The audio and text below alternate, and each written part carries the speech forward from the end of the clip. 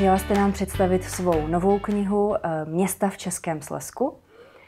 Eh, co jste pro čtenáře připravila? Co je čeká na stránkách knihy? Pro mě to bylo velice zajímavé, protože já jsem procestovala loni celé České Slesko a chtěla jsem zmapovat ta města původně jenom pro jeden internetový portál, ale nazbírala jsem tolik materiálu, že mi to přišlo líto jenom na ten internet, tak jsem se rozhodla udělat pro svoje čtenáře i knihu.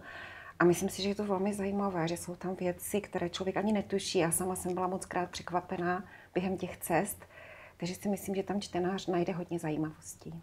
Sama jsem byla překvapená, jak eh, v rámci krátkého medailonku města, doplněného fotografiemi, se člověk může opravdu nakazit to je špatné slovo, ale prostě ochutnat tu atmosféru a dozvědět se střípky z minulosti a vlastně až do současnosti. Takže opravdu zajímavé to Děkuji. z mého čtenářského pohledu opravdu bylo. Co vás inspirovalo vůbec k tomu, že jste se do toho pustila, ať už pro ten eh, internetový portál nebo obecně do toho projektu?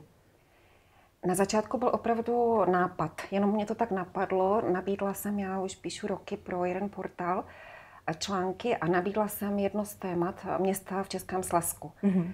A domnívala jsem se, že to bude takový, taková jednoduchá práce, že jenom podívám se tak na internet, do Wikipedie, nějaké fotky a potom něco napíši. Jenomže už během zimy první města mě naprosto pohltila a já jsem té práci opravdu propadla na celý rok, doslova a do písmene. Myslím si, že pro čtenáře to bude vidět eh, z vašeho textu a z celé knihy. Eh, pojďme teďka obecně ke Slesku, které se ve vaší tvorbě objevuje velmi často, eh, prakticky neustále v každé knížce. Čím je pro vás tato oblast jako pro spisovatelku tak inspirativní a bohatá? Já vlastně ani nevím, ale cítím eh, pro sebe obrovskou magii tohoto prostoru. I to, když jsem jezdila loni po celém tom Slesku, tak mě to nenapravitelně poznamenalo. A myslím, že tu svoji tvorbu ještě rozšířím, protože mhm. já většinou píšu o tom Opavském Slesku nebo o té Ostravě jsem teď psala. A rozšířím to rozhodně, protože je to pro mě čím dál zajímavější a opravdu je to magické místo.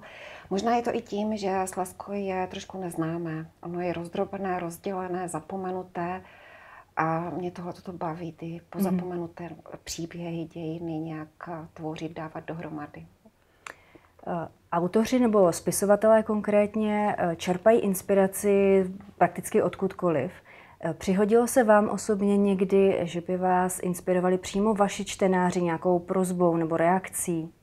Ne, to se mi nikdy nestalo.